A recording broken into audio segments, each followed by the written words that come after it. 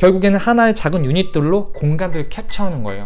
2D로는 2D pixel map 아까 말씀드린 그 다음에 지금 말씀드린 3D voxel voxel map.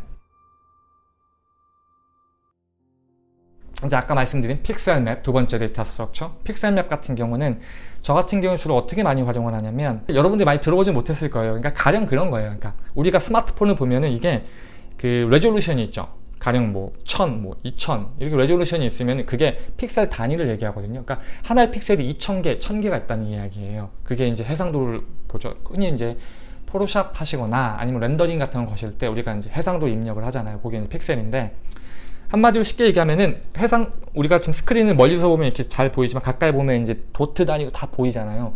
그런 data structure를 만든다는 거예요. 이해되시나요?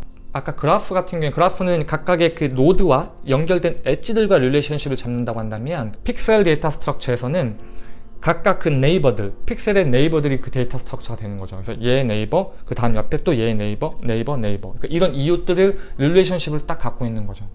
그래서 convolutional 필터라고 들어봤죠. 가령 무슨 뭐 edge detection이라든지 아니면 blur effect라든지 뭐 이런 것들을 process할 때 이런 kernel을 만들거든요. 그런 kernel들을 가지고 convolute하게 계속 돌아가면서 이제 전적으로 이제 이미지를 processing 하는 거죠. 그런 경우에도 쓰일 수도 있고 건축 같은 경우는 저는 이제 아까 그 그래프 같은 경우에는 좀 discrete한 정보, discrete한 정보를 다룬다면은 이 픽셀 map 특성상 우리는 좀 gradient, 그러니까 A랑 B랑 어떤 그 A랑 B랑 어떤 데이터가 있어요. 그럼 이 데이터 관계를 interpolate 한다 그러거든요. 그래서 0과 1이야. 그러면은 linear한 relationship이면 0과 1이면 가운데는 0.5겠죠.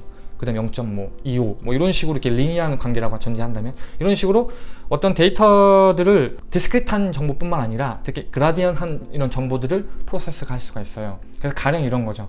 매핑한다 간주를 하게 되면 우리가 범죄율이 있어요. 범죄율 매핑. 예를 들면 범죄율이 높은 곳이 한 지점에 딱 속하진 않죠. 딱 그 지점만 범죄율이 확 높진 않잖아요. 그 지점을 중심으로 해가지고 도시가 뭐 슬램화가 되면서 이제 그 지역 자체를 이렇게 뭉뚱그려져 마치 히트맵처럼 뭉뚱그려가지고 그 부분이 이제 범죄율이 높다라고 볼 수 있는 거잖아요. 가령 내가 여기서 경찰서를 딱 설치했을 때 이 범죄율이 범죄의 데이터가 분포되는 것과 이 경찰서가 범죄율을 밀어내는 것과 이 두 개가 분명히 어떤 관계성을 가지, 갖겠죠. 뭐 이런 것들 process 할 때도 이런 픽셀 data structure를 편하게 쓸 수 있고 뭐 얼마 전에 알파고 그럼 그 바둑 바둑 할 때도 결국 이건 2D잖아요. 2D에서 공간상의 어떤 데이터를 캡처해야 되거든요. 이런 경우에도 쓸 수가 있어요. 그러니까 가령 이런 거죠. 그러니까 뭐 평면도가 있을 때 여기서 내가 여기까지 간다고 했을 때 과연 어, 어떤 길로 가는 것이 가장 뭐 빠르다던가 아니면 어떤 길로 가는 것이 가장 view가 좋다거나 아니면 어떤 길로 가는 것들이 뭐 트래픽을 피한다던가 뭐 도시라고 한다면 뭐 그런 식의 어떤 룰들이 있다고 친다면 픽셀 data structure를 가지고서 그런 어떤 룰들이랑 그런 exist한 physical 그런 도시 context들을 계산할 수 있는 거죠. 그 픽셀에 맞춰서. 그 픽셀 data structure를 통해서. 그러면은 좀 gradient하고, 그러니까 정보들이 이렇게 smooth하게 이렇게 heat map처럼 어떤 데이터들을 이렇게 이제 주변의 relationship과 같이 이렇게 연관하면서 process를 할 수 있고 2D 게임에서는 정말 많이 쓰일 것 같아요. 2D 게임 같은 경우도 어쨌든 뭔가 관계성을 알아야 되죠. 평면 같은 경우도 내가 여기 있어. 그럼 얘까지 찾아가야 돼. 물론 이거 그래프로도 표현할 수 있겠지만 픽셀 data structure 캡처해 가지고 아 이쪽이 뭐 장애물이 가장 적고 뭐 빨리 그 적을 catch할 수 있는 그런 파스야. 뭐 이런 것들을 선택할 수도 있겠죠 그리고 또 다른 예로는 어떤 structure optimization 한다고 했을 때 기둥들을 딱 세워놓고 이 넓은 그러니까 하나 이런 MT 스페이스가 있으면 이 공간에서 몇 개의 기둥으로 이 전체를 다 커버할 수 있을까? 쓸데없이 기둥이 많으면은 뭐이이 슬라브가 무겁지도 않은데 쓸데없이 기둥이 많은 필요는 없잖아요. 그렇다고 또 너무 기둥이 없으면 이게 주저 내려앉을 수도 있잖아요 그렇게 그럴 경우에도 기, 어느 부분에 기둥을 배치하고 어느 간격으로 기둥을 배치하는 게 좋을지 뭐 그런 경우에도 픽셀 map data structure를 딱 깔아놓고 기둥을 배치하는 거죠. 그 다음에 시뮬레이션 돌린 다음에 어디서 yield가 발생되는지 어디서 임계점을 벗어나는지 그래서 그쪽에서 기둥을 움직이고 다시 계산하고 기둥을 움직이고 다시 계산 이런 optimization 이런 것들도 할 때도 픽셀 data structure를 가지고서 이 관계성들을 계속 capture하는 거예요 그러면서 계속 process 해 나가는 거죠 거의 모든 2D의 공간을 process 할 때, 가령 여러분들 이런 어떤 fabrication 같은 거 할 때도 이런 뭐 런 linear surface 이렇게 만들어 놓는다고 했을 때도 그때도 어디서 tension compression이 작용이 되고 어느 부분이 developable surface고 developable 하지 않은 곳이고 이런 것 할 때도 결국에는 이게 공간상에서 여러분들 잘 들으세요. 공간상에서 이 3차원 object가 왜곡되어 있는 거지 결국 이건 2D거든요. 다시 펼칠 수가 있어요. projection 할 수 있다는 거죠. 그래서 그렇게 했을 때도 아무리 복잡하더라도 그걸 펼쳐서 어쨌든 2D, 그러니까 2D 공간 같은 경우는 픽셀 데이터로 웬만한 것들을 다 process 할 수 있어요. 그래서 여러분들이 그 픽셀 data structure를 건축, 도시, 아니면 그런 관련된 디자인, 그러니까 시간과 공간을 다루는 그런 디자인을 한다 라고 했을 경우에는 이런 data structure 한번 공부해 보시기를 권해드리고요. 그리고 이제 마지막으로는 이제 voxel data structure인데 사실 뭐 이렇게 뭐 대단한 건 없어요. 픽셀들이 모여서 하나의 픽셀 map을 만들잖아요. 아까 우리가 얘기했던 2D 픽셀 map. 근데 이게 3차원으로 올라갔다고 보시면 돼요. 그러면 relationship이 옆으로만 있는 게 아니라 위아래로 있겠죠. 맨 밑에는 이제 아래만 있고 맨 위에는 이제 아, 래만 있겠죠.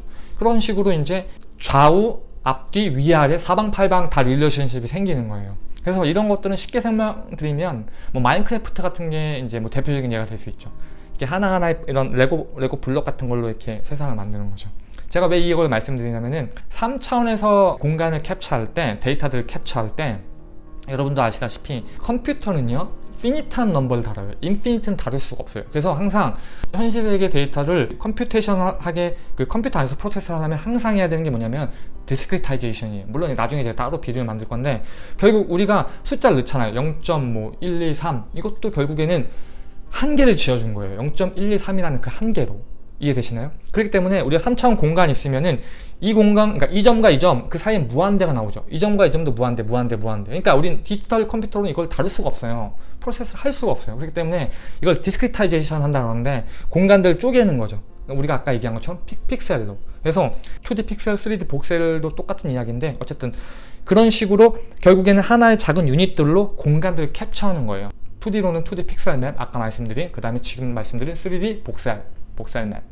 그래서 저 같은 경우는 이제 voxel로 이제 이건 제가 예전에 논문 썼던 것 중에 하나인데 이제, 이제 3차원 3D object들을 갖다 놓고 이걸 voxel로 다 capture를 하는 거죠.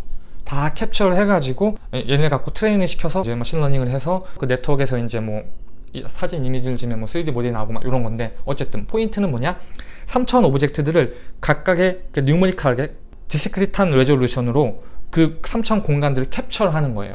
캡처를 해가지고 이 공간이 어떻게 데이터들이 어떻게 변하고 물론 그 안에서도 이제 뭐 agent based 디자인 해가지고 뭐 그날 안에 그 voxel을 막 뛰어다니고 넘나드는 이런 알고리즘을 따라 만들 수도 있는데 어쨌든 이건 뭐 다른 이야기니까 어쨌든 voxel 데이터 structure 가지고 그런 작업들을 다 할 수 있다라는 걸 말씀드리고 그래서 3차원으로 어떤 공간의 relationship을 캡처해야 된다 라고 하면은 2D로는 힘드니까 3차원 같은 경우에는 voxel. 간단하게 오늘 그래프 데이터 structure, 픽셀, 그 다음에 voxel 데이터 structure가 어떻게 computational 디자인에 쓰일 수 있을지 굉장히 gentle하게 딱 터치를 했는데 한이세 개의 데이터 structure를 여러분들이 좀 내가 computational 디자이너로 내 인생을 쭉 살아야 된다고 한다면 어차피 한번 해놓으면 평생 가는 거니까 한번 좀 이렇게 공부를 해보세요. 공부를 해보시고 어떻게 시작해야 될지 모르겠다라고 하면은 제가 이제 다음 비디오를 좀 이렇게 생각을 해가지고 뭐 각각의 데이터 structure를 Python이라든지 아니면 뭐 다른 tool에서 한번 뭐 해보는 것도 괜찮을 것 같고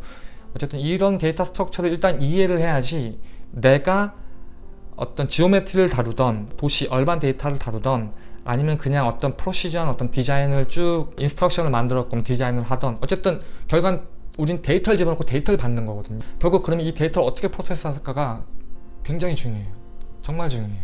그래서 여러분들에게 좀 도움이 되지 않을까? computation 디자인을 좀 한 단계 업그레이드 할 수 있는 내 실력을 더 높이고 그 다음 디자인 problem들을 좀 더 그 algorithmic하게 생각할 수 있는 어떤 foundation이 되는 그런 데이터 structure를 한 오늘 3개 정도 말씀드립니다. 감사합니다.